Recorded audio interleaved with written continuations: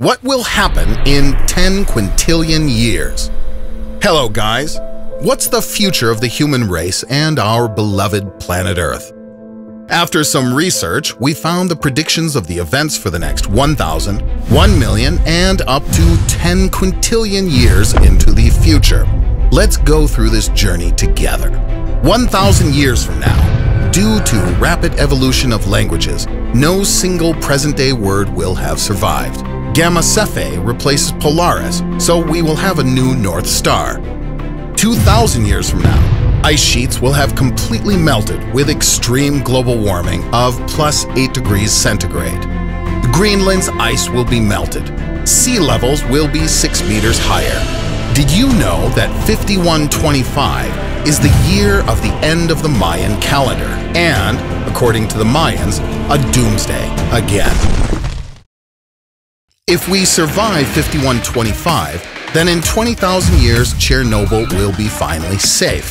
50,000 years from now, Niagara Falls disappears. The remaining 32 kilometers to Lake Erie erodes away, and the waterfall ceases to exist.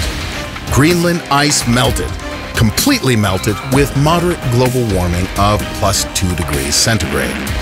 100,000 years from now, the titanium in your MacBook starts to corrode.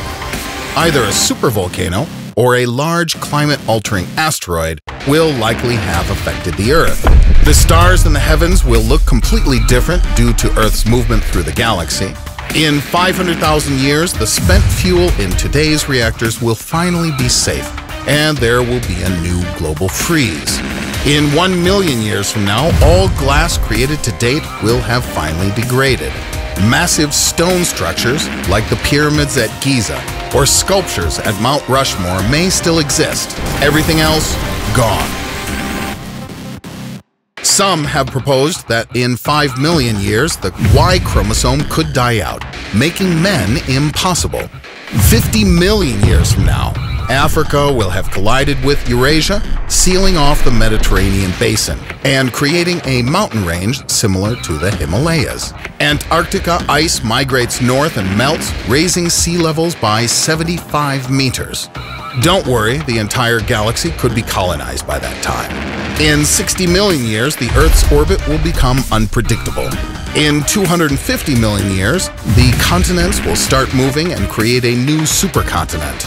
800 million years from now, C4 photosynthesis is no longer possible, and as a result, multicellular life dies. Billion years from now, the Earth's core freezes and the planet stops rotating. No rotation, no magnetic fields, no protection from the sun.